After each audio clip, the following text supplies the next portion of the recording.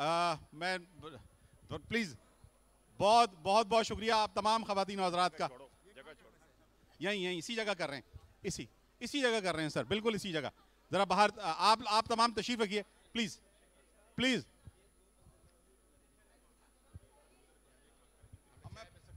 हाँ हाँ बिल्कुल मिल सकती है बिल्कुल मिल सकती जी मैं आ, बस शुक्रिया, आप बहुत बहुत शुक्रिया। बहुत बहुत शुक्रिया। आप आप आइए। आइए आप।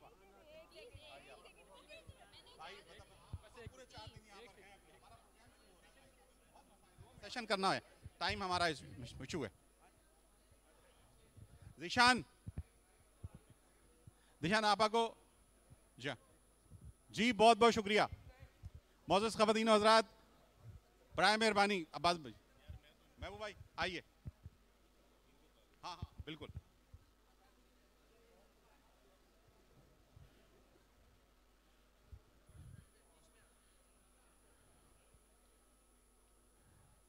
जनाब आप तमाम खवतिन हजरात से दरख्वास्त है कि बर मेहरबानी स्टेज से आ, सामने तशरीफ़ रखें। आप सब हमारे बहुत बहुत शुक्रिया आपका। खफीफ मखफी की ख्वाब बीती। जी आप आपको बिल्कुल लेके इधर पीछे से ले जाओ ना पीछे से ले जाओ हैं जी जी जी जी। आप, शाबाश। जिशान बेटा। हाँ हाँ ठीक है ठीक है। आइए मिर्ज़ा साहब।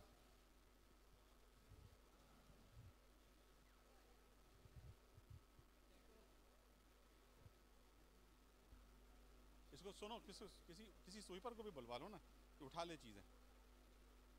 आइए आइए औरंगज़ेब न्याजी साहब। मोजस खवतिन हजरात बर मेहरबानी। सामने तशरीफ़ रखिए। अपनी नशस्तों पर तशरीफ़ रखें बर मेहरबानी। हम प्रोग्राम का आगाज़ करेंगे।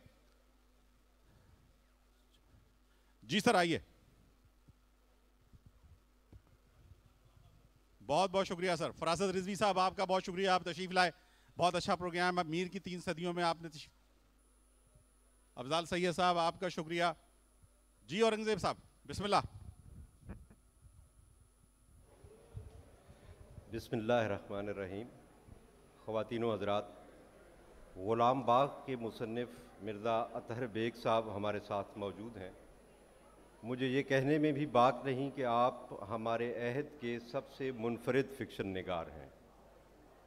आप फ़लसफ़े के उस्ताद रहे, आपने टीवी के लिए मुतद सीरियल्स लिखे, आपके अफसानों का एक मजमू बे अफसाना के नाम से शाया हुआ 2006 में आपका पहला नावल ग़ुलाम बाग के नाम से मंजर आम पर आया।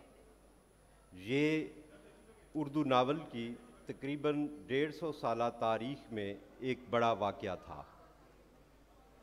ये उर्दू में एंटी नावल या नए नावल या पोस्ट मॉडर्न नावल की इब्तदा थी।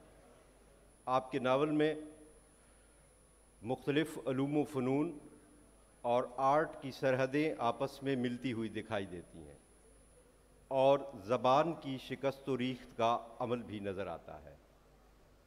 आपका दूसरा नावल सिफर से एक तक 2011 में और हसन की सूरत हाल 2014 में शाया हुआ।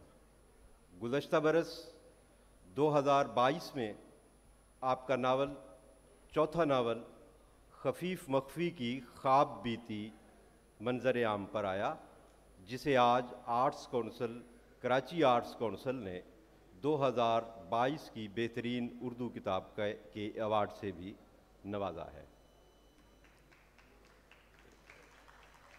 मालूम नहीं हमारे किसी बुज़ुर्ग अदीब ने किस लम्हे में और किस तनाजुर में ये बात कही थी कि एक नावल तो हर कोई लिख सकता है, क्योंकि एक ज़िंदगी हर एक ने गुजारी होती है। लेकिन हकीकत ये है कि चाहे किसी ने एक ज़िंदगी गुजारी हो और वो लिखना जानता भी हो तो वो जो लिख सकता है, वो किस्सा या कहानी होती है, नावल नहीं होता। हर फिक्शन में कहानी होती है, लेकिन हर कहानी फिक्शन नहीं होती। फिक्शन कहानी का आर्ट है। मिर्ज़ा साहब हमारे साथ मौजूद हैं। आज हम इनसे फिक्शन पर फिक्शन की मौजूदा सूरत हाल पर और इनके नावलों के मतलब गुफ्तु करेंगे। मिर्ज़ा साहब, आपने पहले टीवी ड्रामे लिखे और बहुत कामयाब ड्रामे रहे आपके, नशेब और दलदल जैसे ड्रामे। फिर टीवी के ज़रिए से आपको एक वसी ऑडियंस मुयसर थी। फिर आपने नावल नावल की तरफ़ अपने तख्लीकी इजहार के लिए आप नावल की तरफ़ क्यों आए ड्रामे को छोड़कर?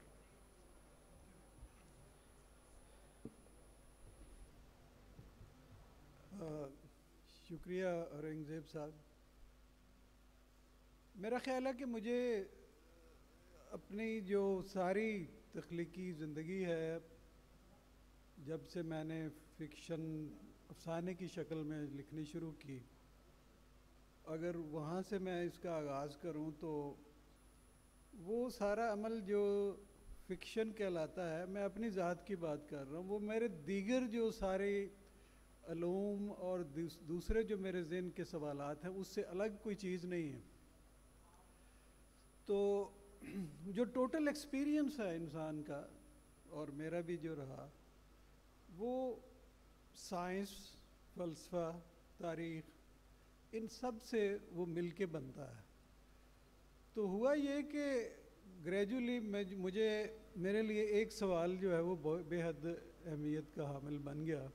वो था जो आप समझ लें कि इंसानी ज़बान का लैंग्वेज का जो इशू है। पिछली जो सदी है, उसमें जो एंटायर जो फ़िलासफ़ी का सीन है उसमें जो एक सवाल सबसे बुनियादी है, वो यही है, जिसका ताल्लुक लैंग्वेज से। तो ये जो मिस्ट्री ऑफ़ लैंग्वेज है, इसको समझने के लिए मैंने शुरू में तो ये सवाल उस तरह नहीं था मतलब अफसाने वगैरह लिखे। लेकिन ये मैं बात आज यहाँ पे कर देना चाहता हूँ कि फ़िक्शन को मैंने इस हवाले से इस्तेमाल किया इन वे और ख़ुसूस नावल को कि जो नैरेटिव फ़िक्शन है, यानी लैंग्वेज की ये जो डायमेंशन है जिसको नैरेटिव कहते हैं और एक नॉन नैरेटिव है, उसको अगर उसके अंदर से इंसान तजर्बा करे तो उससे क्या समझ में बात आती है? तो ये एक सिंगल मोस्ट इंपॉर्टेंट कह लें कि जो एक मोटिव है जो मेरी तमाम फिक्शन राइटिंग में चलता है। तो कैसे एक दुनिया तख्लीक होती है, जो प्योर इमेजिनेशन से बनती है, उसमें जो स्पेस टाइम कैसे बनता है, उसमें वॉइस जो है या क्रिएट, किरदार कैसे सामने आता है, और फिर इसके अलावा जो सारी फिक्शन के जो इंग्रेडिएंट्स हैं। तो उसमें मुझे ये बात ग्रेजुअली सामने आ गई कि नावल एक प्रोज़ में इजहार का एक अल्टीमेट ज़रिया है। यानी वो आपको ये इजाज़त देता है कि आप किसी भी सतह पे जा सकते हैं, कुछ भी एक्सप्लोर कर सकते हैं, कोई भी सवाल सामने लाते हैं। और ये एक हैरत अंगेज़ एक पॉसिबिलिटी है जो नावल हमें फ्राहम करता है। तो एक तो ये जो लैंग्वेज का क्वेश्चन है, ये एक डोमिनेंट मेरे लिए रहा है। और मैं समझता हूँ कि इससे कुछ बात, बातें ऐसी हैं जो अगर थ्योराइज की जाएँ तो वो फिर प्योर फिलॉसफी में चली जाती हैं। लेकिन ये यानी अगर आपने पूछा कि मैं ड्रामे से इधर कैसे आया तो ड्रामा भी ज़ाहिर है कि वो भी एक नैरेटिव है फिक्शन की शक्ल है। तो उससे नावल पे आके मैं इसीलिए ठहरा हूँ कि ये यानी इंसानी इजहार जो है और एक पूरी दुनिया दूसरी दु, नई की दुनिया की जो तख्लीक है उसको जिस तरह ये मीडियम जो मुमकिन बनाता है इस तरह और कोई नहीं है। तो ये सिलसिला फिर चल रहा है तो उसमें जो, यानी वही जो दीगर मेरे सारे मसाइल हैं, वो सारे इसके अंदर एक्सप्लोर में करता हूँ। आपने ज़बान को एक किरदार के तौर पर पेश किया है, और ज़बान में भी तजर्बात किए, तकनीक में भी आपने बहुत ज़्यादा तजर्बात किए। और आपने अपने एक इंटरव्यू में कहा था कि जिस नावल में तजर्बा ना हो, वो पॉपुलर नावल तो हो सकता है, अदबी नावल नहीं हो सकता। तो आप तजर्बे को इतना ज़रूरी क्यों समझते हैं? और क्या इस तरह उर्दू का बेशतर नावल तो क्या आप उसे तस्लीम नहीं करते वो तो पॉपुलर नावल होगा, अदबी नावल नहीं होगा देखिए, इसमें मैं एक बात पहले भी कह चुका हूँ कि मेरा पॉपुलर नावल से कतन कोई दुश्मनी नहीं है नॉट एट ऑल बल्कि मैं खुद पढ़ता हूँ, जो पॉपुलर राइटर है मतलब थ्रिलर वगैरह में पढ़ता हूँ, और कहानी का जो क्राफ्ट है, वो जैसे उन लोगों के पास है, शायद कम दूसरे लिटरेरी फिक्शन वालों के पास हो। उसमें अलबत्ता यानी फ़र्क होता है मैार का क्वालिटी का, उसमें मतलब अब ली चाइल्ड भी है और उसमें वो स्टेफन किंग भी है तो दे वर वेरी डिफरेंट तजर्बे की जहाँ तक बात है तो इस टर्म को काफ़ी मेरा ख्याल है मिस यूज़ किया गया है। जो नावल आपके जो एक रवायती अंदाज है, उससे हटा हुआ हो तो उसको एक सॉफ्ट तरीके से कहते हैं ये- तजर्बाती है। तो ये मसला ये है कि हर नावल ही लिटरेरी जो है वो एक सतह पर तजर्बा ही है। उसमें एक चीज़ को जो विजुलाइज करता है राइटर उसको एक एक हाइपोथेटिकली लेता है ना तो उसको क्या वो नतज पैदा करेगा? In that sense it is an experiment also तो एक्सपेरिमेंटल होना जो है, वो एक सतह पर हर क्रिएटिव फिक्शन का एक बुनियादी मैं उधर समझता हूँ। दूसरा एक और बात ये है कि ये ये मेरा ख्याल है, तमाम लिटरेरी फॉर्म्स या इवन आर्ट फॉर्म्स पर भी ये लागू आती है कि कुछ राइटिंग्स वो होती हैं जो कि उस जानरा की जो पॉसिबिलिटीज़ हैं, उसको एक्सप्लोर करती हैं। सही और दूसरी वो हैं जो कि उसके अंदर जो चल रहा है, उसी को फॉलो करके कामयाब एक चीज़ लिख देते हैं। तो मेरा मसला नावल बज़ात खुद है, जैसे मैंने शुरू में कहा कि ये लैंग्वेज की कौन सी डायमेंशन है? नैरेटिव है। लेकिन इसके अंदर जो इम्कान हैं, वो लामहदूद हैं। अब ये आप पर है कि उसको देखें कि कहाँ कहाँ आप जा सकते हैं। तो इस सतह में नावल की जो दो बातें बनेंगी एक तो एक सक्सेसफुल नावल विद इन जो चल रहा है फ्रेमवर्क दूसरा ये कि जो नावल की फॉर्म को उसके जानरा को नई उसके अंदर कोई चीज़ दरियाफ्त करता। है तो ये जैसे आपने मेटाफिज़िक्स मेटा फिक्शन की बात की तो इस सतह पर वो जो लैंग्वेज के साथ मेरा एक मुसलसल मसला है वो फिर बन जाता है कि मेरी फिक्शन के अंदर वो रिफ्लेक्सिविटी जिसे कहेंगे या सेल्फ रेफरेंशियलिटी कहेंगे वो आती है कि एक राइटिंग चल रही है और उस राइटिंग के ऊपर उसको भी एक बंदा या एक वॉइस या एक ऑब्जर्वर देख रहा है देख रहा है। तो इस तरह ये सारा सिलसिला चलता है तो मेरे लिए ज़ाती तौर पर ये बड़ा सेटिस्फाइंग है कि फ़िलासफ़ी का जो बाय द वे मेरा ख्याल है यहाँ हमारे यहाँ फ़िलासफ़ी नाम की चीज़ कोई नहीं क्रिएटिव सतह पर। चालीस साल मैंने पढ़ाया। अब ये बात थोड़ी सी हट के आ रही है। तो कोई एक मौका ऐसा नहीं है कि किसी कुलीग ने मुझे आके ये कहा हो कि जनाब ये देखें ये जो मेटाफिज़िक्स का ये क्वेश्चन है ये कैसे है? मैं तो हैरान। हूँ। तो लोगों की कोई इंटरेस्ट नहीं खैर ये एक लंबी कहानी है। तो वो सारी जो कमी है वो मुझे इस यानी नावल राइटिंग में वो मिली है। दूसरी एक और बात ये भी है कि जहाँ तक हमारे अलूम का ताल्लुक है या ये सारी जो आपकी सो कॉल्ड हायर एजुकेशन है और ये वो, उसमें हम एक इमिटेटिव मॉडल के अंदर हैं। वेस्टर्न थ्योरी को या वेस्टर्न साइंस को एज ए कॉमोडिटी हम लेते हैं, उसके अंदर क्रिएटिविटी कोई नहीं है। तो उस, अगर ये सारी बात अगर हम समझने की भी कोशिश करें तो मेरा ख्याल है कि नावल की जो फॉर्म है that is a way of philosophising also in this part of the world इधर। मैं ये अंग्रेज़ी का आदि हूँ आई एम सॉरी ये शायद नहीं बोलना चाहिए। लेकिन ये कि ये उसको मैं एक फ़िलोसॉफिकल इंटरप्राइज भी समझता हूँ।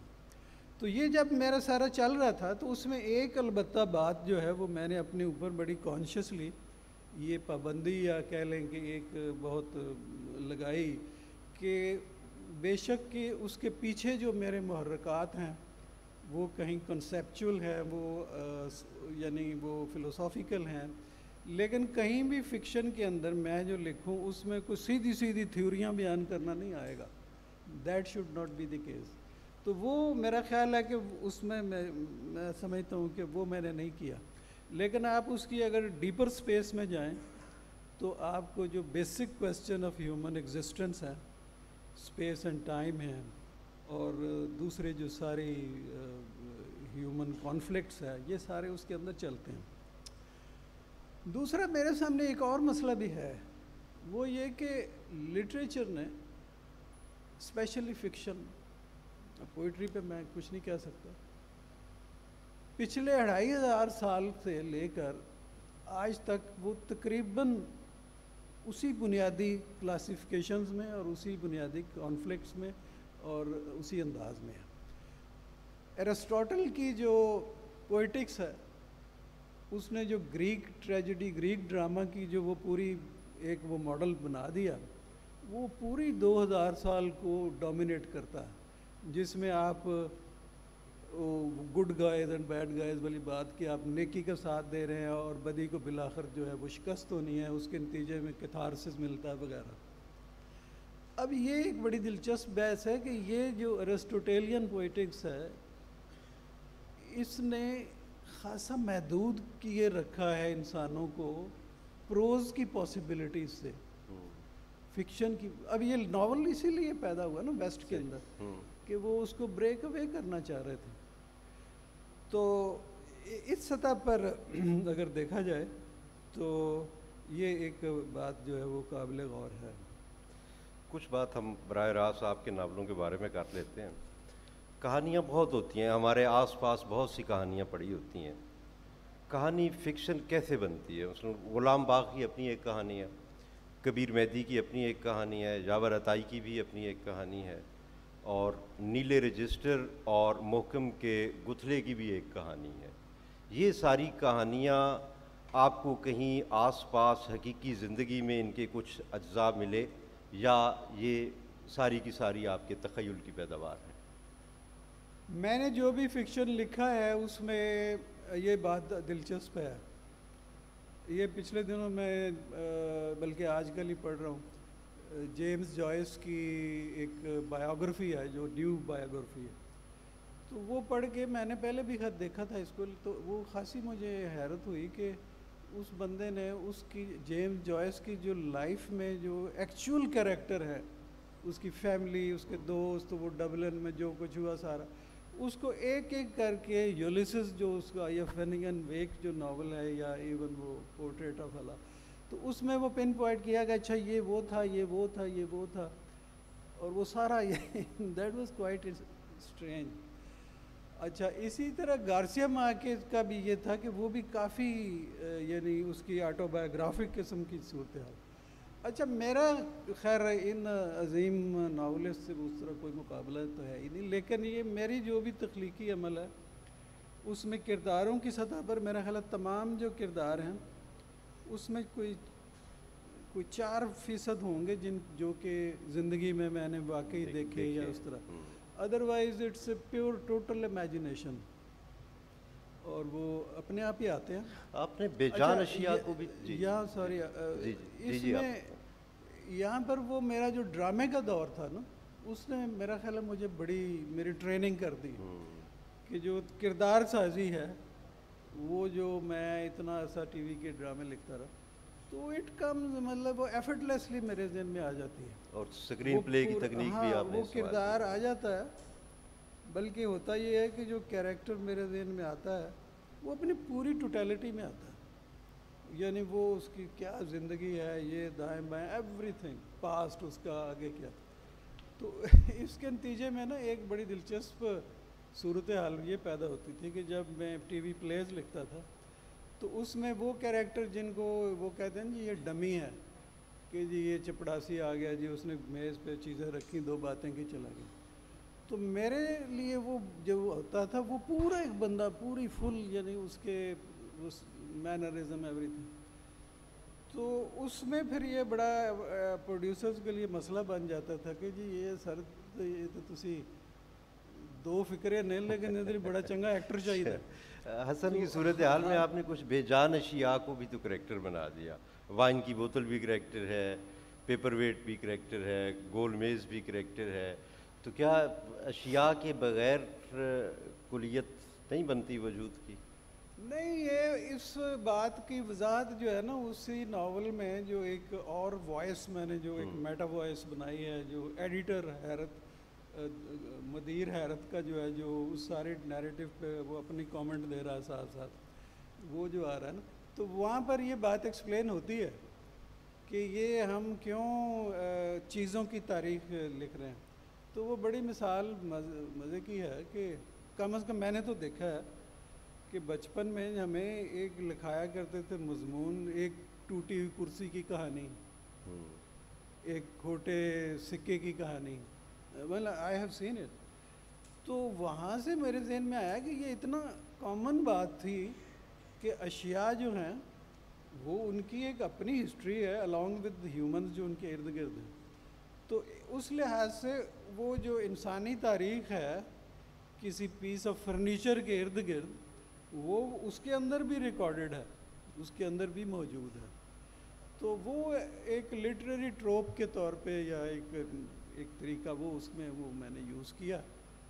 तो उसमें वो एक मेगाफोन की कहानी है तो इसके बाद फिर वो एक गोल मेज गोल की मेज़ की है पेपर वेट की। तो ये सारी जो मुख- इसके अलावा उसमें तो वो नामों का भी है कि एक ही नाम जो है वो कई अफराद का है हम्म, कई कैरेक्टर्स सईद कमाल मसलन हाँ तो उससे मैं एक एक कैरेक्टर स्पेस का इल्यूजन क्रिएट करना चाह रहा था। कि मन सईद कमाल है तो वो छः सात बंदे हैं जो सईद कमाल जी। तो वो एक एक फ़ज़ा बनाता है जो कि बड़ी अनयूजल है और बड़ी सरियलिस्टिक है। अच्छा अब ये जो उस नावल में सरियलिज़म का ज़िक्र आ गया है ना तो वो मेरा ख्याल है उसका ज़िक्र यहाँ हम करें थोड़ा। मैं ज़ाती तौर पर ये समझता हूँ कि वो सारी फिक्शन जिसको आप रियलिज़म कहते हैं या हकीकत पसंदी तो रियलिस्ट लिटरेचर या realist fiction is the most unreal actually क्योंकि वो भी एक रिडक्शन है वो भी उससे अखज़ की हुई टोटलिटी से एक ख़ास कार्व आउट करके आपने एक टुकवी बनी बनाई मुकम्मल कहानी बनाई हकीकत या जो जो कुछ चल रहा है वो वैसा नहीं है, वो सरियलिज्म के ज़्यादा करीब है। मसलन ये देखें, इस वक्त हम लोग बैठे हैं तो इस वाक्य की, इस इवेंट की जो गुज़र रहा है, इसकी हकीकत क्या है? मेरे जहन में पता नहीं क्या कुछ चल रहा है। आपके जहन में कुछ चल रहा है और दर्जनों दोस्त बैठे हैं तो they are in their own words तो इस वक्त, इस जगह की असल हकीकत क्या है? वो एक कोई राइटर कोई जर्नलिस्ट लिख देगा कि जी वहाँ पर वो कह रहे हैं वाइंड अप करो। जी टाइम थोड़ा है। हाँ, मैं एक सवालात मेरे पास ज़्यादा है तो इस बात को मैं कंक्लूड कर लूँ। जी जी। तो वो जो असल में गुजर रहा है वो उसमें से हकीकत नगारी अखज़ की जाती है वो भी मसनू है। सही। और जर्नलिज्म उसको कहेगा कि यहाँ वहाँ पे कॉन्फ्रेंस हो रही थी लोग बैठे थे फलाम बंदा बोल रहा है। बट वट इज़ रियल और इसी तरह जो पर्सपेक्टिव है वो किसी एक ही मुकाम को बदल के रख देता है। मसला हम यहाँ से ये सारा विजन देख रहे हैं परसेप्शन है। अगर फ़र्ज़ करें कि मैं इधर सल के बल खड़ा होकर देखूँ तो that would be totally different लेकिन स्टिल यही कुछ ही होगा। वो भी अनरियल तो नहीं होगा। एक सवाल तो, आपके इस खफीफ मखफी की ख्वाब बीती के बारे में कि पहले नावल में और नावलों में आपने इंसान की तारीखी और वजूदी सूरत हाल को पेश किया। और इस नावल में आप माबाद तबियात और पैरानॉर्मल साइकोलॉजी की तरफ़ गए इसकी ज़रूरत क्यों महसूस हुई आपको? वो पैरानॉर्मल, उसकी दो एक्चुअली बैकग्राउंड हैं। एक तो ये कि काफ़ी दौर मेरी ज़िंदगी में रहा है कि जब मैं इस सब्जेक्ट को, जो पैरासाइकोलॉजी पैरानॉर्मल है, उसमें बहुत ही इंटरेस्टेड हो गया। क्योंकि उसके पीछे बात ये थी कि अगर एक भी ऐसा मज़हर जो है वो हकीकी है कि मसलन कोई बंदा अपनी प्योर वही साइकोकाइनेसिस जिसे कहते हैं उसकी मदद से इस बोतल को उठा के उधर हिला सकता है तो ये फिज़िक्स के तमाम लॉज को बेड़ा गर्क कर कर- तो what is at stake is so high तो उससे मैं फिर काफ़ी पढ़ता रहा इसको जितना कुछ अवेलेबल था। लेकिन फिर मैं एक मुकाम पे पहुँचा कि जब जिसको आप कहेंगे कि वो एक स्केप्टिक और बिलीव और नॉन बिलीव की पोजीशन तो वो सारे जो मेरे तजर्बात थे वो खफीफ मख्फी की ख्वाब बीती जो है उसमें थे। लेकिन उसमें ये अगेन बात होनी चाहिए कि मेरे सारे नावल्स में वेस्टर्न डिस्कोर्स जो है वो जब यहाँ आता है तो उसकी क्या शक्ल बनती है वो सब चलता है। मसलन कबीर मेहदी का मसला थियोरी है वेस्टर्न थियोरी है। सिफर से एक में वो डिजिटलाइजेशन और ये न्यू जो है ये है। हसन की सूरत हाल में वो फ़िल्म है फ़िल्म और है। वो मीडिया है और वो सारा जो सरिलिज्म है वगैरह वगैरह। और इसमें वो पैरासाइकोलॉजी जिस तरह से ये वेस्ट में प्रैक्टिस होती है और जिस तरह यहाँ हमारे जिन भूत और ये तवीज़ धागे और ये होते तो वो वो डिस्कोर्सेज वेस्टर्न डिस्कोर्सेज जब यहाँ आते हैं तो वो क्या शक्ल इख्तियार करते हैं? ये फिक्शन का मेरा एक basic concern one of the basic concern मैं एक एक आखिरी सवाल आपसे करूँगा। आपने वेस्टर्न डिस्कोर्स की बात की। हमारे खत्े की मकामी सूरत हाल के बारे में जो नावल अंग्रेज़ी में लिखे गए, वो दुनिया में बहुत ज़्यादा पढ़े गए। उसकी एक वजह तो समझ में आती है कि अंग्रेज़ी आलमी ज़बान है। लेकिन क्या ऐसा नहीं लगता कि उर्दू की बजाय अंग्रेज़ी हमारी तर्जमान बन गई हो? आप बतौर फिक्शन नगार इस सूरत हाल को कैसे देखेंगे? हाँ ये एक इशू है। ख़ास तौर पर मेरा ख्याल है कि जो मेरे कंसर्न्स हैं मतलब मैं तो अपनी बात कर सकता हूँ। वो इस नौीयत के हैं कि शायद वो अंग्रेज़ी में क्योंकि सारा जो मेरी दूसरी स्टडीज़ हैं वो सारी अंग्रेज़ी में हैं या कभी फ्रेंच में हो जाती हैं। लेकिन उसके अलावा ये फिक्शन में जो है मैंने उर्दू में शुरू की। क्योंकि जब मैंने लिखना शुरू किया उस वक्त वैसे भी यहाँ पर अंग्रेज़ी फ़िक्शन का कोई इतना नहीं था करते। अ, लेकिन मेरा ख्याल है कि मैं इसमें किसी ख़ास यानी चॉइस का कोई इतना स्ट्रेस नहीं करूँगा। ये अंग्रेज़ी भी हमारी ज़ुबानों के अंदर मौजूद है। लेट्स एक्सेप्ट इट अगर उसमें कोई लिखना चाहता है तो लिखे। और मैंने वैसे काम शुरू किया भी हुआ है अगर वो मुकम्मल हुआ अब कोई कौन सा किस मौजू पे आपका नावल कोई नया आ रहा है? और सुना है कि आप पंजाबी में भी कोई लिख रहे हैं? हाँ ये एक्चुअली इसमें हुआ ये कि 2014 में मैंने ना कोई चार पाँच काम इकट्ठे शुरू कर दिए। तो उसमें एक यही था जो खफीफ मख्फी वाला इसके अलावा। तो वो शायद कोई इतना दानिशमंदाना फैसला नहीं था, लेकिन वो मेरे जहन में ये था कि बच्चे जब इतने मजामी पढ़ सकते हैं, कर सकते हैं, कहीं मल्टी टास्किंग करते रहते हैं तो वाई कांट भी तो उसके नतीजे में अब ये हुआ है कि वो काफ़ी तीन चार किताबें जो हैं ना, वो वेरी मुख्तलिफ़ सतहों पे हैं। कोई 200 सफ़े को 500 कोई तीन इस तरह के मामला हैं। तो उसमें से एक जो है वो मेरा ख्याल तो था कि इस उसका नाम तो था वो अभी मीर की बात हो रही थी। नाजुक है बहुत काम। नाजुक है बहुत। ये उस नावल का टाइटल होगा।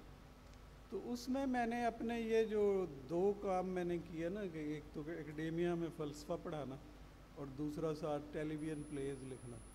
तो इसके नतीजे में जो दिलचस्प सूरत हाल पैदा हुई वो एक तरह कह लें कि वो उसकी एक स्पेस टाइम है। लेकिन वो इंटरेस्टिंग है सारा। आई होप कि वो इस बहुत शुक्रिया बेग साहब। बातें बहुत हैं सवालात बहुत हैं मौजू बहुत वसी है लेकिन हमारे पास वक्त बहुत मौजूद बहुत शुक्रिया। थैंक यू थैंक यू बहुत शुक्रिया।